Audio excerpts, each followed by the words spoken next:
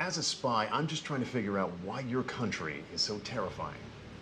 You know, the first thing to know about Iran is that it is not evil. Actually, Americans and Iranians have a lot of things in common more than they have differences. What do I have in common with you?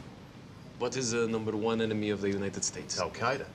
Al Qaeda is also the number one enemy of Iran. The uh, Al Qaeda members say that if you kill an Iranian or if you kill a Shiite, you go to heaven and you get 72 virgins. Well, they won't be virgins for too long, huh? right? You know what I'm saying? Upstairs.